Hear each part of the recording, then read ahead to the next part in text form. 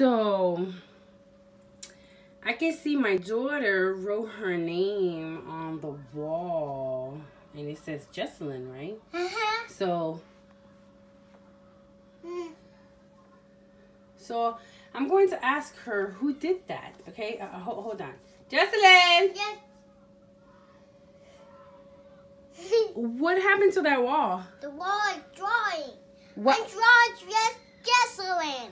Why did you draw Jesselyn on there? But I draw Jesselyn. It says no no no no no. I draw Jesselyn. It Really? says just Jesselyn. Really? It says Jesselyn. So it says Jesselyn. Jesselyn. Yeah, Jesselyn. And then you can't ask her or tell her nothing because she says what? What what why did you draw that on the wall? Uh, I draw a wall. Why? Jesselyn. Why did you draw Jesselyn on the wall? I need to spell it. Oh, because you need to spell it? Yep. Hmm. Okay. Okay. Let me try. No, no, no, I'm not gonna let you try. You've already got it. We gotta paint these walls again. Because our daughter just painted her name Jesselyn on the wall. Good job.